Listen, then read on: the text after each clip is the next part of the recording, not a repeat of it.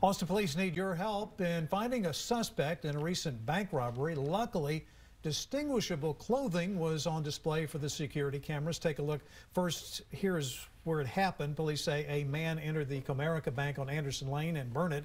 He demanded a note. He had a note demanding cash, and then he got away on foot.